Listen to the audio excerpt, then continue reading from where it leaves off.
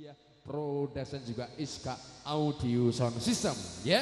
Langsung kita sambung kembali persembahan bersama artis yang berikut ini. Siapa dia kalau bukan Nia Amelia New Kala Tama